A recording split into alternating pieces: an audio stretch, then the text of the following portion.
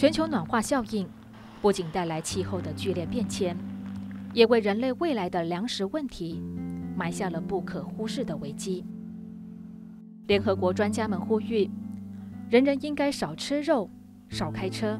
简朴过生活。其实正提醒着我们，大地的资源是有限的，粮食、能源不再是取之不尽、用之不竭，人类无止境的欲望。都将为地球带来难以估计的浩劫。当人们肆无忌惮吃着牛排料理的背后，光是生产一公斤牛肉，就要消耗八公斤的谷物，过程中还会排放出三十六点四公斤的二氧化碳。此外，牛只所排放的另外一种温室气体甲烷，它的作用甚至是二氧化碳的二十倍。更不要说全球过度发展畜牧业。所砍伐的森林和污染，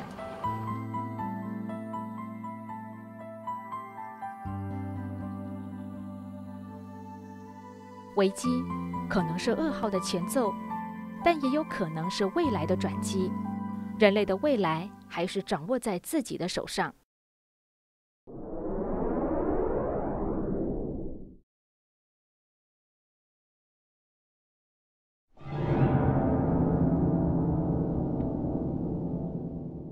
二零零七年十二月，英国《经济学人》杂志报道，粮价稳定的年代已经结束了，粮食会越来越贵。到二零一五年，全球粮食库存将耗尽，而美国农务部也分析，到了二零零八年的夏季，全球粮食存库率将只剩下百分之十四点六，是一九六零年有统计以来的最低值，粮食危机一触即发。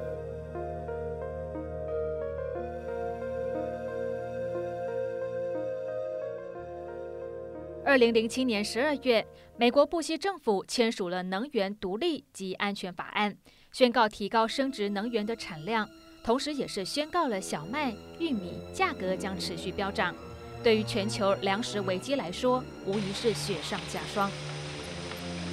现在粮价会上升很大一部分哈的原因，是因为他们拿那个玉米去做这些所谓生殖酒精。那这些玉米，它本来应该给人呢，给动物当成饲料来吃的这些玉米，结果被拿去做酒精。那这样子的话，就会导致就是我们人或者是动物的饲料或者人的粮食要吃的时候，你就必须要花更高的价钱才去买得到。那这样子来讲的话，会造这个是造成现在这种所谓看到粮价快速的这种上升的这个主要的原因。物价的变动，一袋二十二公斤的面粉，去年售价三百五十元，今年已经涨到六百四十元；一桶十八公升的沙拉油从四百元涨到九百元；面粉做的水饺皮一箱十台斤，从两百元涨到两百五十元。饺子店老板怕吓跑顾客，到现在还不敢调整售价。面店饺子馆不敢调价，就是担心景气不好，哪怕调涨个一两块，顾客就不上门。什么都涨，而且涨得多是面包制作的物料。主计处公布二月份涨价最明显的食物，沙拉油、鸡蛋、奶粉、鲜奶都在其中。面包店老板说，过去一桶二十公斤的沙拉油顶多四百元，现在涨到九百元；面粉二十公斤三百元，现在六百五，物料至少涨一倍。有的面包店半条吐司还悄悄涨了十块钱。你像我们从去年的。原月就是九十六年原月，我们进口的小麦，到岸价格、现货价格平均大概是两百七十块一吨，就是这个是每一公吨美元的单价。到目前我们今年的二月份，就现在在使用的小麦价格是四百八十六块，你看它的涨幅已经大概八成以上。接下来四月份的到五月份的价格。它的我们的进口的平均价格是高达六百二十几块，所以你看这个涨幅是已经一倍以上。大概一年半在两年前哦，一桶沙拉油大概三百块上下，现在已经到九百八十块，大概有三倍的涨幅。那面粉在那个我在讲说一年半大概两年那个时候。大概也是在三百出头，现在也应该是到，诶七百块左右。涨价最明显的是我们的面粉，再来就是油。那最近又淡，但本来是二十几块，现在到三十几，几乎是百分之五十。本来是四成的材料费用就对，现在应该会到六成半到七成，那那是很惊人呐。那大概一辈子没有没有这样混过。近年来，中国和印度等新兴工业国家经济发展迅速，对粮食的需求量因而大增。加上许多耕地被用来改种生殖燃料的原料，例如甘蔗，粮食作物的生产受到排挤。尤其是气候变迁对粮食生产造成不利影响。因此，持续数十年国际粮食价格稳定的趋势已经被打破。预估到二零二零年，全球粮食生产量将减少百分之十六。粮食的总生产减少，需求却持续增加。再加上先进国家对国内农业的补贴，将连带使得国际粮食价格高涨。对非洲等贫穷国家来说，更不容易取得便宜粮食，也威胁到当地民众的营养摄取，营养不良的情况也将更加严重。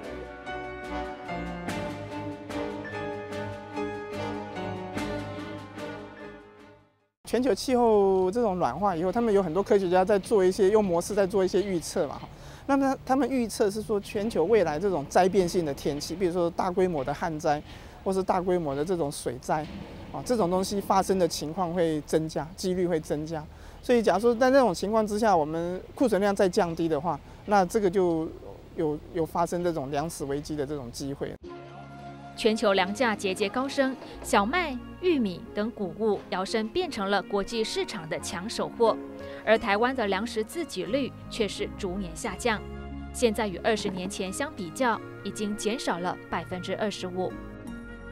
台湾现在哈，这个粮食的自给率大概只有百分之三十了，这个主要的原因哈，就是虽然我们水稻好像看起来很多，有很多的面水稻的面积这样的，但是。这个稻米占我们台那个台湾国民这个主食大概只有一半而已，这样剩下还有一半是要靠这个进口这样子。那个主主要是面粉这一类的。那除了这个我们人吃的主食以外，很多的那些饲料，就是动物的饲料哈，也要靠进口。放眼望去，一片辽阔的农田。不过仔细一看，每一株秧苗都冻伤枯萎了。这位七十八岁的老农民看着十多天前辛苦栽种的心血全变了样，心里好心疼。西周乡两千公顷的水稻田，农会人员估计至少有三成的面积遭到损害。二零零八年年初，在连续几波寒流侵袭之下，台湾水稻的生长受到冻伤，也让我们警觉到气候、农作物与人的共生关系正面临着全球性的严重考验。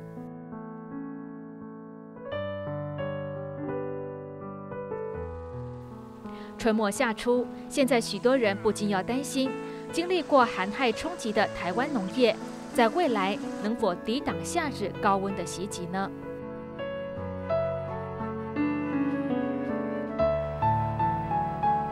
在台湾大学，卢虎生教授进行着一项实验，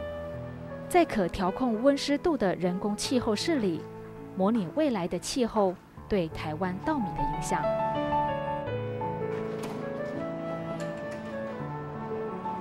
那这一间的温度主要是二呃三十三十五度，就是夜间温度是三十度，白天的温度是三十五度。那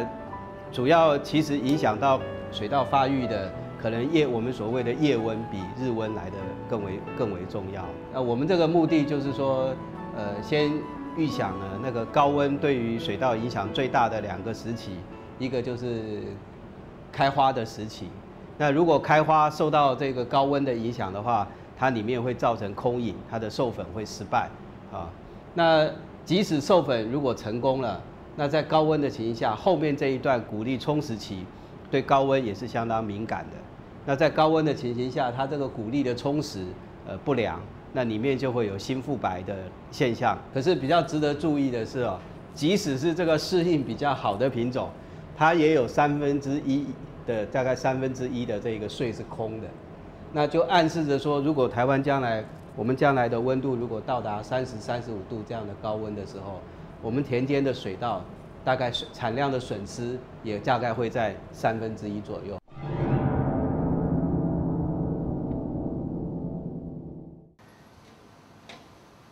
一个水稻的育成呢，要八到十年的这个这个功夫，那。现在我们看到呢，它这个环境呢，它可能还有一些适应性，但是呢，有很多极端的环境呢，即使是这样的野生稻都没有办法生存。那这给我们一个警讯啊，我们对这个未来的育种呢，在气候极端的变变迁情形下，还是有它的极限的。根据联合国世界粮农组织的报告，全球粮食分配不均。导致目前全球仍有8.5亿的人长期处于饥饿边缘，但却有超过10亿人因为营养过剩而过度肥胖。一旦未来极端气候所带来的天灾增加，粮食生产短缺，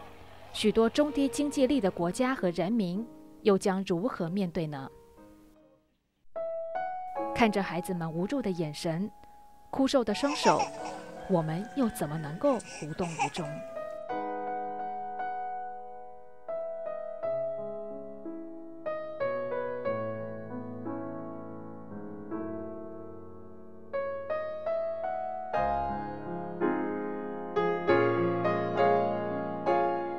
环境变迁是一个无可避免的趋势的情形下呢，粮食生产呢是越来越显得这个珍贵，我们更需要去珍惜呢。粮食生产的这一个呃不易，那平常呢，在粮食的这个消费上面呢，呃，不需要有过多的这个浪费啊。那我们必须了解这些粮食的生产都是跟环境下呃很谦卑的、很辛苦的能够获得的，所以我们对粮食呢需要有一个更敬畏、呃更尊重的这个心情。最后还是要。呼吁我们的消费者应该要惜福了。过去因为我们的生活，大家就说生活的品质已经很高了，那对包括食的这些品质的要求会越太太高了，就变成大家有一点浪费的行为产生。